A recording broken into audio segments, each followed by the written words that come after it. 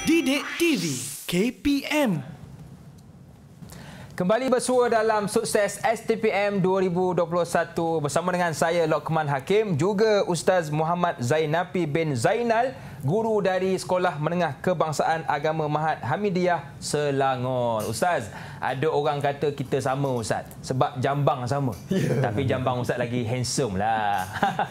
Okey Ustaz, untuk segmen ini kita nak fokuskan tentang apa pula?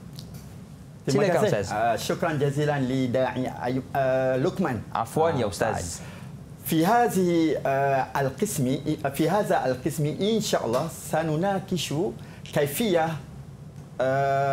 طرق إجابة أسئلة تلخيص bagaimana kita nak menjawab soalan bahagian rumusan. Yeah. Baik. Ala syasha atilfas contoh al-misab lakhis. Uh, al-qit'ah la yazidu adadu kalimatiha an sitina kalimatan. Ini adalah merupakan contoh soalan yang sebenar mm-hmm.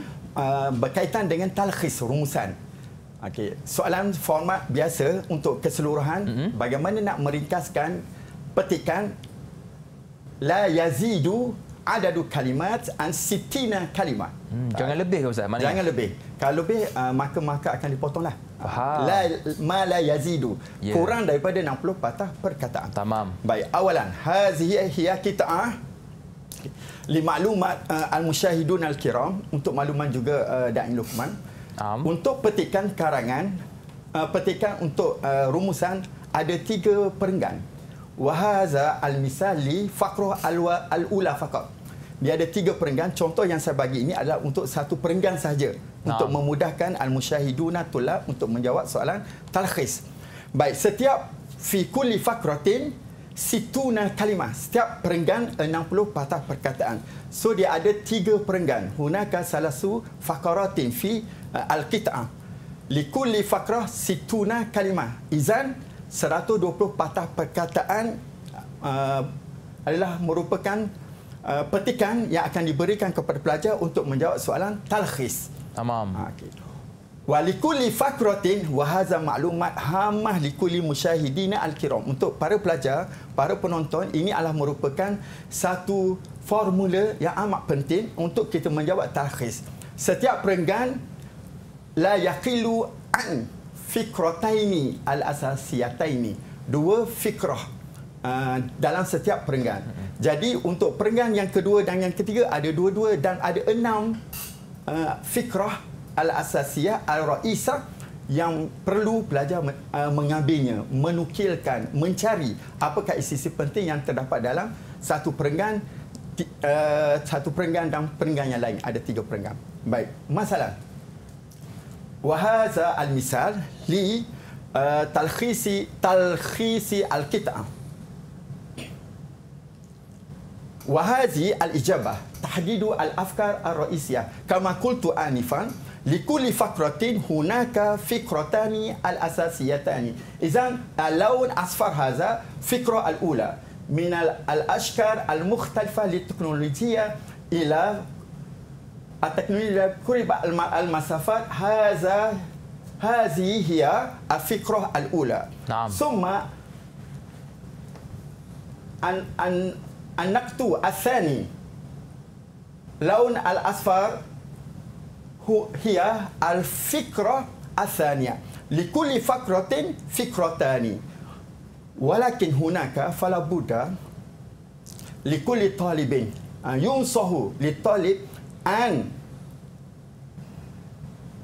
يلخص هذا التلخيص بأسلوبه خاص dengan gaya bahasa sendiri hmm. dengan penambahan penanda wacana uh, bi robti arwabit al munasabah penanda nah. wacana yang bersesuaian untuk talkhis nah. uh, kebanyakan pelajar menjawab talkhis hanya copy and paste hmm. anaklu fakat uh, jadi itu adalah dapat itulah merupakan kekurangan yang boleh mengurangkan markah dalam oh. pe, uh, menjawab uh, bahagian talqis rumusan. Sayanglah ustaz. Eh, sayang, memang sayang. Jadi di sini perlu pelajar menguasai an yusaitira asarwa al-arabi al-arabiyah wa rawabit wa rawabit al-munasabah likulli uh, talkhis wa likulli ma za yata'allaqu bil lughati al-arabiyyah. Tamam. Baik.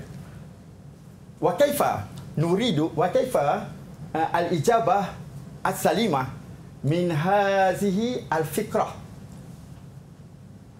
Ana nuzur hadza. Hadhihi al-mulakhas min 60 kalimah ila 20 kalimah fi fakrah al-ula faqat. Pada peringkat pertama, daripada 60 patah perkataan kita kurangkan sehingga menjadi 20. 20 patah perkataan. Uzu ila huna al-yaum al-yaum hadza ma yusamma bi ar-rawabi al-munasabah. Penanda wacana yang sesuai yang para pelajar mesti menguasainya untuk menjawab soalan berkaitan dengan talkhis. Barulah pelajar akan mendapat markah yang paling terbaik, ya. paling cemerlang insya-Allah. Wa hunaka aidan uh, yunsahu li talib aidan an yastakhdima uh, an-nawasikh al-adawat an-nawasikha inna wa akhwatuha kana wa akhwatuha fi ijabati at-talkhis hadza ma yusamma bi uslubin khasin wa hakaza wa wa aidan ya da'i Luqman ya ustaz. Pada penulisan uh, talkhis rumusan ini dinasihatkan juga pelajar supaya tidak mengambil contoh hmm. misalan. Sebab itu adalah merupakan isi yang tidak penting. Sebab talkhis merupakan uh, uh, 60 patah perkataan saja. Sekiranya dia mengambil contoh al-amsila uh, awi sifat hmm. awi ma yata'allaqu bi al-fadilat akan mengurangkan permakahan. Baik. Ah. qad uh, intahaina ani at-talkhis hmm. wa fi qismil awal aidan al-fahm wal isti'ab as-su'alu tsani ibda'ur ra'yi iaitu merupakan mengeluarkan pandangan, memberi pendapat. Bagaimana cara pelajar nak menjawab soalan yang berkaitan dengan ibda'ur ra'yi? Baik. Awalan, ibda'ur ra'yi haula al-qadiyah al-matruha allati tata'allaku bil kit'ah. Memberi pendapat ini uh, Da'i Luqman ya, Ustaz. Ia berkaitan dengan Qadiyah isu-isu yang dilemparkan Yang terdapat dalam kitab Talkhis tadi Dia hmm. ada hubun kait nah. ha, okay.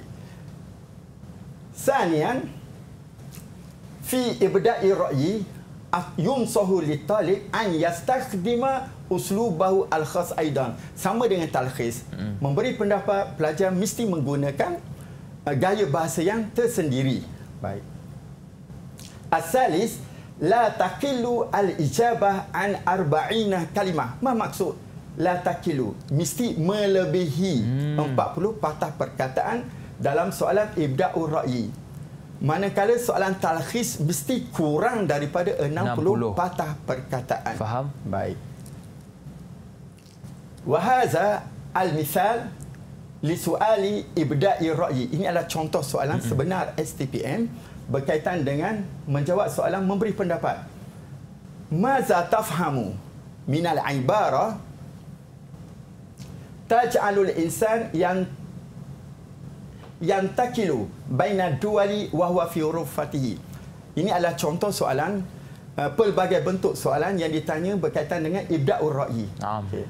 Dalam petikan yang telah kita bincang tadi ada yang digariskan. Yeah. Iaitu dia bertanya ibarah, petikan apa yang pelajar faham. Ya, inilah pelajar mesti memberikan pendapat menggunakan ayatnya sendiri. Ayat uh, ayat yaktuba al-ijabah bi uslubihi al-khas.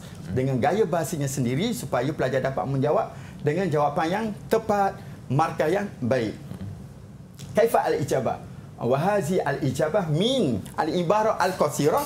Al-ijabah at-tawilah khamsina kalimah. Baik bi uslubihi al-khas wa hazi yakni uh, misalan contoh jawapan kepada soalan yang ditanya ini adalah bentuk soalan yang pertama yang berkaitan dengan talkhisu uh, berkaitan dengan ibda'u ar-ra'yi. Wa hadza al-misa' ats-tsani.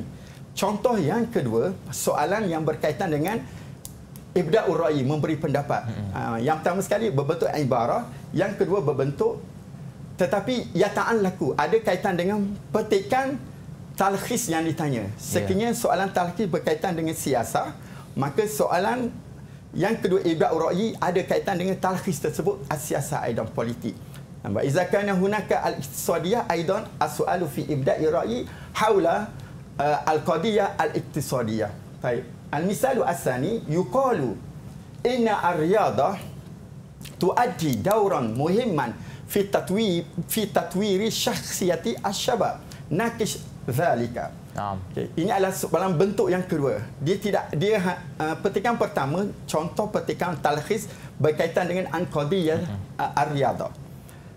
Soalan talkhis daripada petikan ar-riyadah. Soalan yang kedua ibda'ur ra'yi berkaitan dengan ada kaitan dengan riadah tetapi tak ambil kat dalam uh, soalan di luar kotak. Ah, hmm. Ini panggil ke, ke, ke, kemahiran kebat yeah. tinggi supaya pelajar dapat menguasai ah, uh, pembendaharaan kata yang banyak.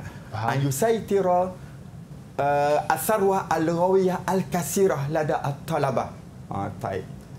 Kaifa al-ijabah fi haza as-su'al? Wa haza wa hazi al-ijabah li as-su'al ibda'i ra'yi asani. Khamsina kalimah aidan. Lianna fi ibda'i ra'yi fala buddha hunaka an aksar min arba'ina kalimah. Yakni arba'ina kalimatan ila aksar. Wa hadza ya atorik fi ijabati ibda'i ra'yi. Tak ya ada yang Luqman. Ya. Yeah. tak Tamam ya Ustaz.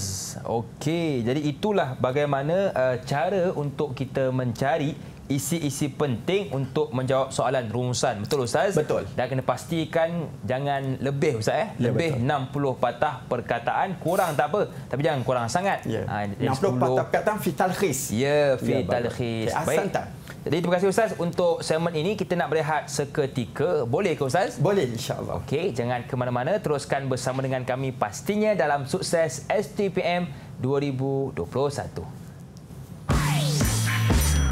Didik KPM